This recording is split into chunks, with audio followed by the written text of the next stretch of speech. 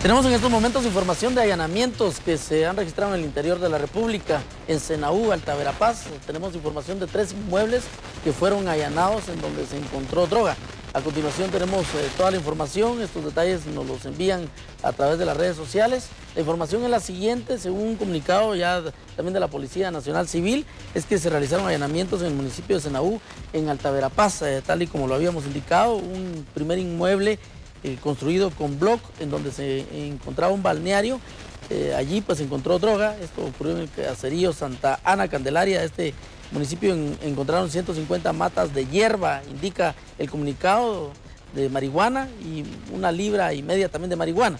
Según en un segundo inmueble se procedió también a dirigirse a la Policía Nacional Civil y esto ocurrió en el instituto, al Instituto Básico ubicado en el caserío Santa Ana Candelaria, en donde no se pudo llevar a cabo por no contar con la dirección correcta, indica la misma policía. Pero hubo un tercer inmueble eh, también ubicado en la aldea Santa Ana, terreno rústico de medidas de una manzana, en donde se incautó seis matas de hierba de marihuana también. Es así como entonces de tres inmuebles, en dos se ubicó marihuana en un tercero pues no se contaba con la dirección correcta, pensaron que esa era la dirección, sin embargo al llegar eh, pues no había tampoco absolutamente nada. Entonces esta es la información que nos trasladan del interior de la República. Y por último,